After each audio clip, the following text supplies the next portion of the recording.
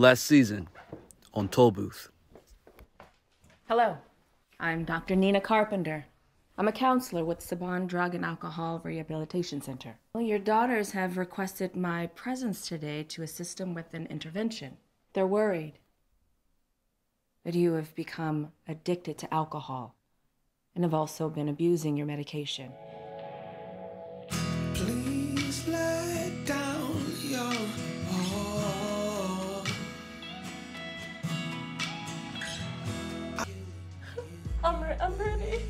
I'm ready. I'm ready to go to rehab. I can't keep doing this. Maya, this is Reese Warren. I own a publishing company, actually, uh, near your uh, hometown of Waterview, Maryland. Um, I got your manuscript on my company's website. Man, and after reading it, I definitely want to get a chance to set up a meeting to talk to you in person um, to go over possibly publishing uh, your uh, your book. Reese, I am 37 years old, trying to change careers. I don't have time to start at the ground level. Time? Who cares about time, Maya? Man, you have a choice to make right now. You could be the 40 year old who wakes up in the morning to go to an office to do something they hate, or go to an office to do something that they love. The choice is yours, man. I will call you a little bit later to uh, discuss the revisions. Okay. Yeah.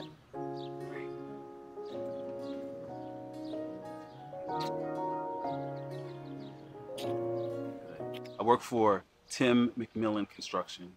You'd be coming in as a consultant. If you're interested, just give me a call. All right? You're meant for a little bit more than just etching lawns. Don't you think? I'm Elise Broyer, your new boss. Well, it's really nice to meet you, Elise. Um, the names that I would like to submit of the employees for separation. But I'm sorry to say you are missing two important names on this list Who? Walker Harris and Kim Wait, Spencer. Wait, what? What are you doing? So, did you find out anything? Not just anything. I have what you've been looking for. I'm about to find out who my real father is. And now, the season premiere of Toll Booth. Darren Kelley, Yeah? you don't know me, but you know my mother, Lana Caldwell. Maiden is Jones. You all met back at a party in late February, early March of 1980. At that party, when you two were together, I was conceived. I'm your daughter. That is not true. Who told you this? Did my brother put you up to this? No one put me up to anything. You're Back! Dad, can you give us a hand with the tree? I'm your daughter. Dad, is everything okay?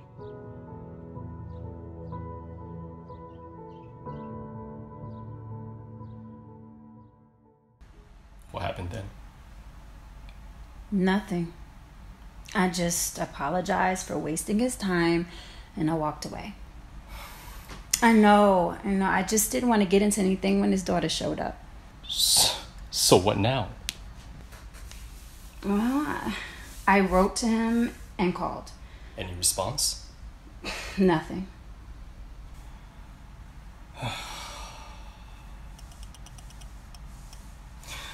Coffee?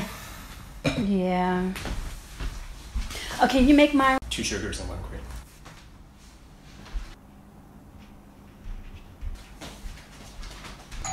Oh, I'll get it.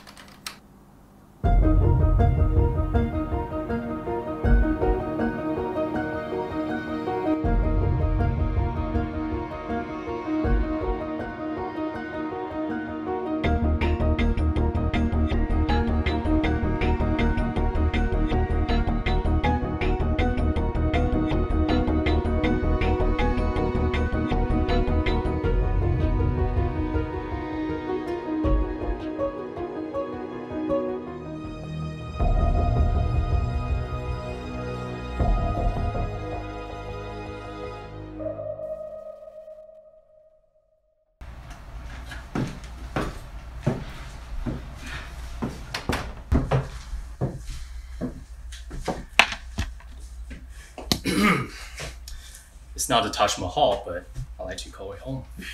So, how can I help you?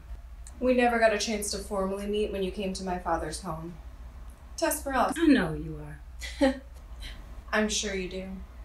Funny thing is, I know a little bit about you as well. By my count, this is what? The fourth residence you've lived in in the past year? No home to your own name. No steady income. Tess, cut the bullshit! I don't have time for. Why are you here? Answers. Are you really claiming that you're my father's daughter? Or are you simply after money? Oh, you acting like you're trying to get your ass beat! Look, Justine doesn't want anything. All she wanted was to discover her roots. What's the harm in that, right? Next time you come to my father's home, I assume it'll be with proof. Oh, I'm ready for a DNA test when you are, sis. I was hoping you'd say that. I took the liberty of scheduling a DNA test at a local clinic next week. And next time you want to contact my father, I suggest you contact me instead.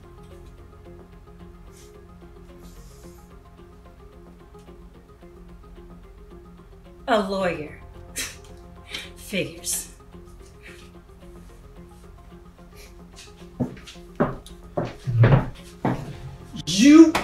Really need to learn how to keep your emotions in check. Look, I'm not backing down from anyone. If they're trying to intimidate someone, I'm the wrong one. I got time. You're gonna need more than that. If they do decide to try to discredit you, Darren Kelley was married to Amanda Elias. And I care because. Her family owns this town.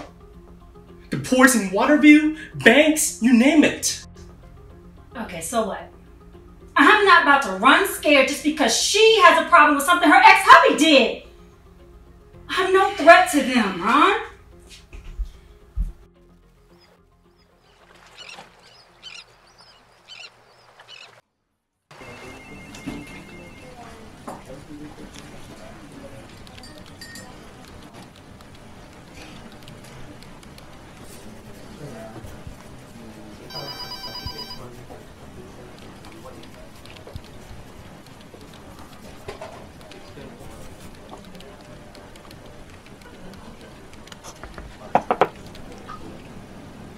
We have the Peter Winters presentation to prepare for you, are late.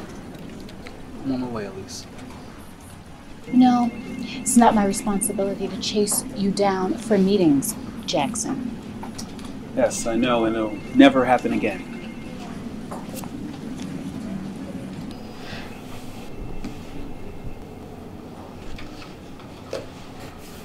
Have I done something to offend you, Jackson?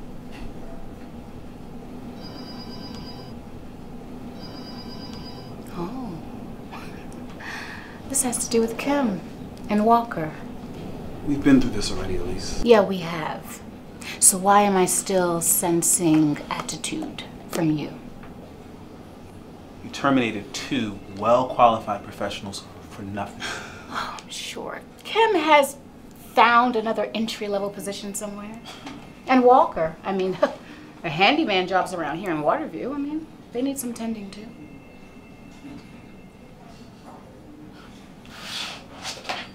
Where are you going? I have someplace else I need to be. Need I remind you what I told you the last time? If you were insubordinate, what would happen? You would fire me. Exactly. Have a seat. Let me make this easy for you. Quit. I'm taking my notes with me. Well, that is my company's property. Absolutely right.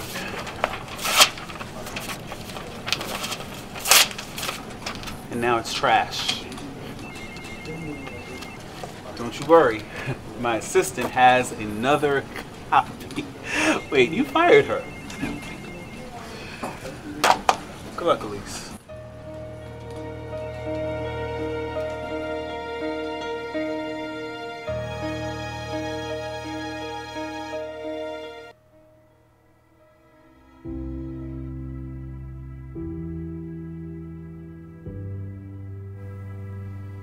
Is there anyone I can contact?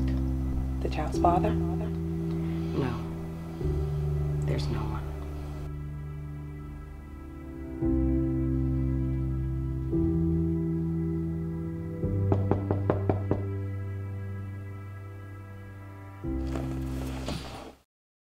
Hey, I've been calling you. My phone just died, that's all. What's wrong? Karen's not doing well. She's getting progressively worse. She caught an infection last week, so we had to stop chemo. I'm so sorry. What's with her now? Uh, we were able to get a nurse to watch her during the day. Do you need anything? Honestly, Maya, I need you. Hey, hey, look at me. I might be imagining things, but it's like we haven't been on the same page since Christmas. You've been going through a lot with Karen, and I just didn't want to get in the way. Okay, even more reason why when you go through something like this, you need to rely on the people that you love. Please. And I didn't say that as an attempt for you to say it back, okay? I love you. There's no surprise. It's how I feel. Look, I know we haven't been on the same page, but it's not just because of Karen's illness. It's me too. What about? I, it's my mind. It's, it's what I'm going through. I.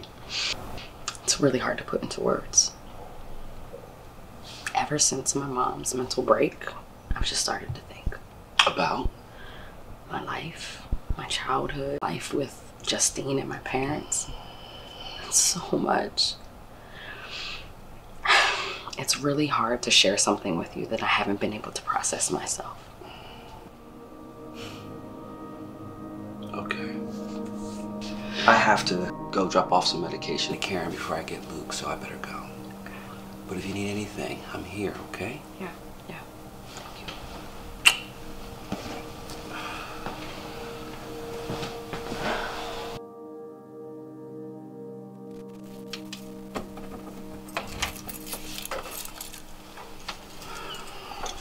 Hey, so how's she doing today? She's not doing good. Well, maybe we can